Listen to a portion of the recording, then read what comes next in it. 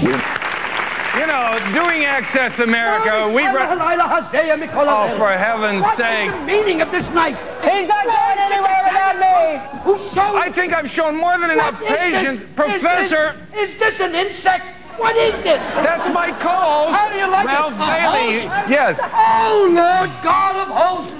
How Here's a clip from someone else who's totally out of control, Sheriff Bill. Access America. I'm Ralph Bailey, or what's left of him.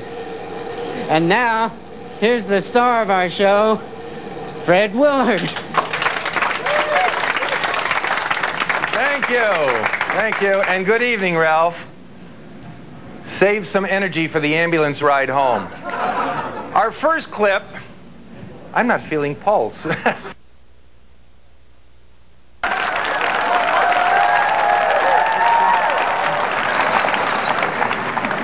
This is exciting, Mr. Willard. What did you finally get for me? well, I spotted this and it just cried out to me, Ralph. How could I not spring for the 295?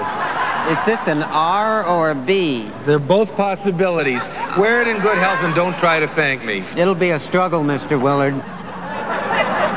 You know, it's gotten to the point that just about anything you need can be found under one roof in a shopping mall, including the century-old mysteries of Eastern philosophy.